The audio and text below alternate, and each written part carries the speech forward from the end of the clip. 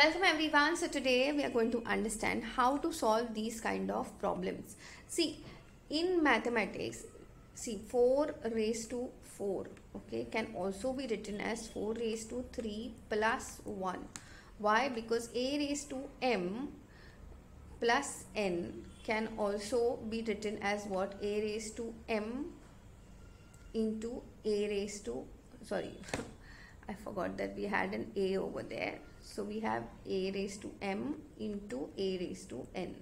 So here this can be written as 4 raised to 3 multiplied into 4 raised to 1. Okay. So here instead of 4 raised to 4 let's write it 4 raised to 3 multiplied by 4 minus 4 raised to 3 upon 4 raised to 3. Okay. So what we can do is 4 raised to 3 is common. So we are left with 4 minus 1 upon 4 raised to 3. So now what happens is see this and this gets cancelled. So what are you left with is 4 minus 1. Answer for this question is just 3. Okay, so I hope you've understood how to solve these kind of problems. That's it for today. I will see you in the next video.